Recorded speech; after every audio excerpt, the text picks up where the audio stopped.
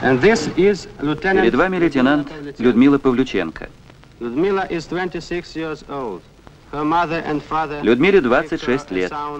Родители наделили ее светлой головой и привлекательной внешностью. Я хочу сказать вам, что мы победим.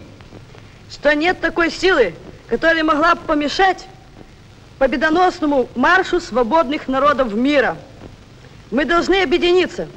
Как русский солдат, я предлагаю вам, великим солдатам Америки, свою руку. Fellow soldiers, forward to victory.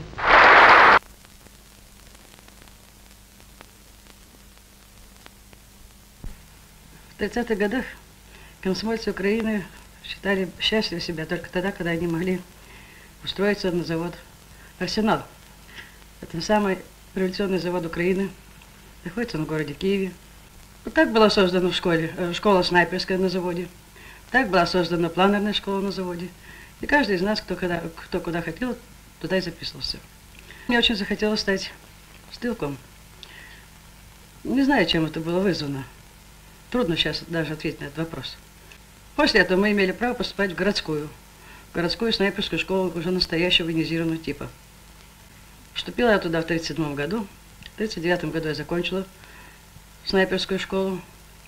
Сдавать экзамены пришло, пришлось уже настоящим военным специалистам. Ну, и, честно говоря, конечно, мы вздрагивали от этого. Потому что одно дело стрелять со своими инструкторами, другое дело уже стрельбище. Люди взрослые, люди, требующие уже полного выполнения всех уставных правил. Когда началась Великая Отечественная война, оказалось, что в Советском Союзе очень много снайперов готовых. Они все добровольно пришли в вооруженные силы, не ожидая ни призыва, ни повестки. Были снайпера наравне со всеми. Много можно было бы назвать фамилий. Вместе измыкались сами на себе. Интересная это очень работа. Интересная потому, что каждый день, не в зависимости от боя, не в зависимости ни от чего, а снайпер уничтожает живую силу врага. Ну, если так грубо говорить, как это делается, ну, есть разные методы. Между прочим, снайпера позжих выпусков уже работали немножко по другой системе. Отличались немножко от снайперов подготовки довоенные. Ну, первый такой вид, самый обычный, так называемая снайперская охота. Летом, полчетвертого утра, выход снайперов.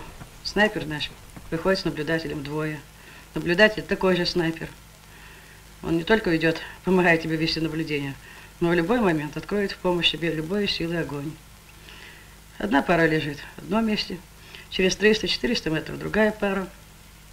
Разговаривать между собой нельзя, ну, пересвистываться нельзя, двигаться нельзя, курить нельзя и вообще ничего нельзя. Продолжается это будет до 9 до 10 часов вечера. За это время снайпер может уничтожить 5 фашистов, может уничтожить трех, а может быть и ни одного. Все зависит от того, насколько подвижные фигуры врага, насколько они будут вертеться и кто будет вертеться. Не первые попавшиеся открывали огонь, а были определенные для нас наши фигуры. Это, в первую очередь, наблюдатель врага. Является очень такой скверной вещью для войны. Он имеет, наблюдатель врага имел право вызвать огонь.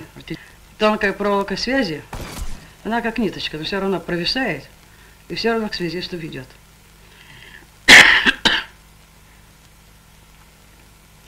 Потом связные. Гитлеровские офицеры. Это снайперская дуэль. Ну, в нового снайпера, который только что пришел, на снайперскую дуэль не пошлют.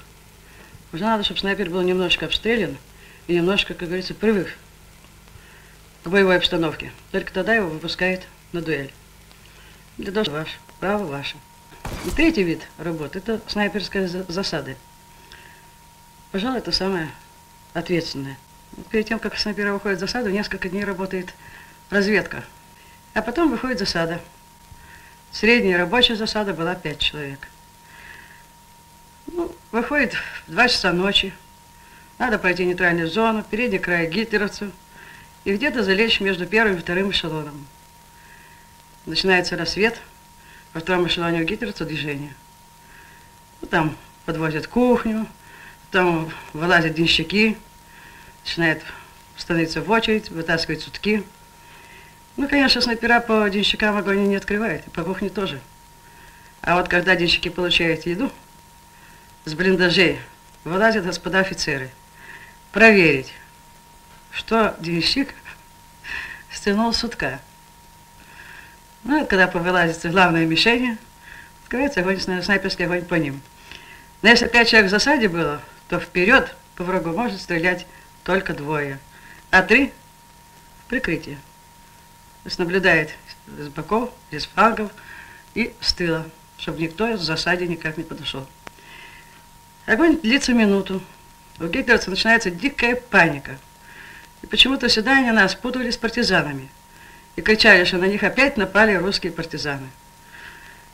Мы, за, значит, замолкаем, Пока длится паника, снайпера имеют возможность сменить позицию. Это пройти иногда нужно было 100 метров, иногда нужно было перескочить 150 метров. Не так, небольшое расстояние. Через минут 15-20 после огня такие интересные сцены происходили. Гитлеровцы приходили в себя, собирали своих денщиков, собирали, значит, санитаров. Во главе становился какой-нибудь капрал, поили их ну, шнапсом, добавляли, с добавлениями какими-то. С переднего края вызывался взвод. И велось самое настоящее боевое наступление на тот участок, на котором мы только что были. Чем они шли, строчили с автоматов, неизвестно куда. А вы, знаете, сидите на другом, в другом месте, и очень хорошо маскировать свой выстрел. Все, 100 метровки. Вот когда выходит снайпера, засада выходит от врага, и если кто-нибудь из снайперов упал, а действительно почему-то снайпер раненый не упадет. Он застонет, он склонится, он как-то сожмется, пойдет только убитый. Вся засада тут же остановится и вступит в бой. И если там еще кто-нибудь погибнет, то все равно товарища заберут. Нельзя вот нельзя оставлять тело товарища на земле, захваченной врагом.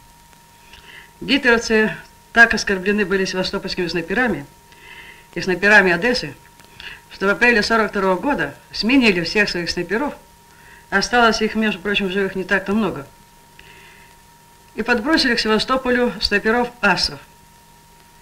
Ну вот когда они первый раз заявили по радио, что у них появились снайпера асы, ну, как говорится, ухом не повели. Второй раз кричат гитлеровцы. Значит, уже надо посмотреть, а что там такое. Ну и на третий день, значит, тоже заявление, что асы и снайпера Севастополя будут все уничтожены. Ну, это, конечно, оскорбление для нас было, и очень большое.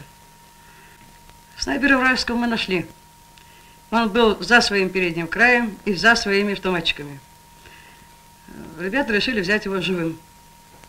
Ас пошел спокойно, не сопротивляясь. Вывели его на нейтральную зону и значит, потребовали снайперскую книжку. В снайперской книжке была цифра 502. Стояло так, 501, жирные две черты, такого бухгалтерского, бухгалтерского учета, и потом стояла единица. Мы его спросили, откуда 501? Где, на каких участках вы работали? Сколько вы человек советских перебили? В боях ли это? Потихоньку выяснили, что гитлеровский снайпер закончил офицерскую снайперскую школу, ну, а потом был послан для того, чтобы привыкнуть к убийству в охрану лагерей смерти. Не знаю, конечно, как вы, но я до сих пор не могу понять, как снайпер может убивать женщину на плацу, вышедшую, ребенка, мужчину, который в плену без оружия в руках. По-моему, это дело зверское, не стрелковое. Героическая оборона Севастополя длилась 250 дней. Гитлеровцы предпринимали очень много наступлений на Севастополь. Они действительно бросали своих солдат, не щадя ничего и не жалея ничего. Бросали свою артиллерию в расчете на то, что русский солдат, советский солдат, звуков, воев, визгов в конце концов выдержать не сможет. Севастопольцы все это выдерживали. Потому что заодно в Севастополе, небольшом городе, решалось много вопросов. И даже такой серьезный вопрос, как вступать ли нашему соседу Турции в войну или не решать, или не, или не вступать. Решался вопрос нефти, защита нефти в Баку. Тоже решалось все в Севастополе. Трудно рассказать о том колоссальном героизме. Ну вот если так вникнуть, вникните в такую цифру. 24 офицера, артиллериста, вызывали огонь батарей на себя. Что значит вызвать огонь батареи на себя? Это значит выйти не может. Кругом окружен гитлерцами. В случае смерть, но в бою. Трудно даже представить вот Севастополь последних дней обороны. Действительно, в городе не осталось ни одного дома. Действительно, все было развалено, все было разрушено, но все равно на осколках стен писались большими буквами, углем, белой глины, чем только попало. Писали, что Севастополь не сдается, и Севастополь скоро очень будет опять советский. Севастополь был сдан 3 июля 1942 года. Больше 11 тысяч, официально по сообщениям ТАСС, оставалось защитников в городе, которые попали потом в плен. Остальные, основной состав был в Севастополь вывезен. Рузвельт сказал, что да, говорит, народ Америки должен преклоняться перед советским народом, перед Красной Армией. И действительно, Красная Армия спасает мир от фашизма. Мы выступали активно на ассамблее, ругались со студентами иностранными, потому что находились еще такие люди, которые кричали, что раз ты студент, то во время войны ты должен продолжать свою учебу. Ты должен изучать памятники материальной культуры. Для этого, допустим, надо, можно взять разрешение у гитлерца, съездить в Грецию, в Италию. Вместо того, чтобы взять оружие в руки, отойти на время от учебы и вступить в драку, в драку за свободу, за собственную свободу, за свободу своего народа. Горячие были стычки, очень горячие. Ассамблея продолжалась студенческая всего-навсего 4 дня. На пятый день был большой прием в Белом доме. А позже мы вошли в состав делегации уже Международной студенческой организации для посещения всей Америки. Приходилось бывать на заводах, Конечно, самые лучшие воспоминания у меня остались на заводах. Оно, это, понимаете, попадаешь сразу к друзьям. К друзьям, которые понимают, и, друзьям, которые возражают. Там были представители уже армии, были представители рабочего класса. Ну и в Англии, как на Международной студенческой ассамблее, нам пробовали кое-что вытянуть. Ну и таким вопросом, которые они давали очень большие реакции, совершенно неразумные, это было выступление наших английских друзей по поводу того, что у нас нет свободы религии. Ну, мы им объяснили очень просто так, что каждый, кто что хочет, кто что себе выбирает, то у нас в Советском Союзе по советским законам, по советской конституции может делать, если это не является ущербом для народа и для государства.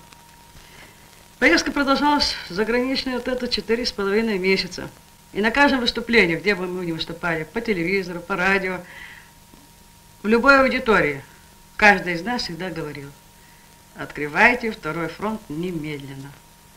Ну, а когда приходилось выступать мне, так я обычно добавляла, что не кажется ли вам, то это самые господа мужчины, что прятаться за спину женщины в бою не стоит, правда? Коль ты называешь себя мужчиной. Вот. Ну, американские женщины поддерживали меня, выступали в прессе, призывали сами своих мужей тут же идти в армию и участвовать в открытии Второго фронта. Это же делали и английские женщины. Вернулись мы домой, вернулись мы, уже летели на английском самолете через Германию, при вылете поспорили, пришлось поспорить немножечко.